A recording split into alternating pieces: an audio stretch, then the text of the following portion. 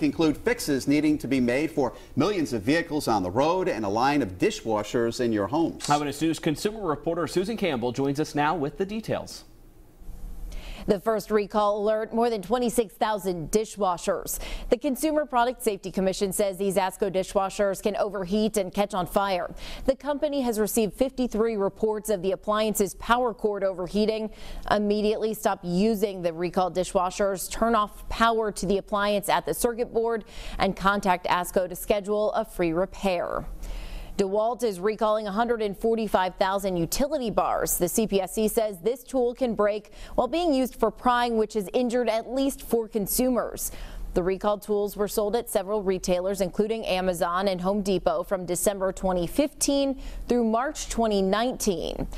Finally, Nissan has issued a massive recall to fix many of its most popular models. The automaker is recalling more than 1.2 million vehicles in the U.S. to fix a problem with defective backup cameras. The affected vehicles include 2018 and 2019 Nissan models and Infiniti models. Owners can take their vehicles to a dealer for a software upgrade. We have more information about all of these recalls on our website, WPRI.com. Of course, if you have a consumer problem you need help solving, contact our Call 12 for Action Center Monday through Thursday from 11 until 1. Our hotline is 228 1850. I'm Susan Campbell, Eyewitness News.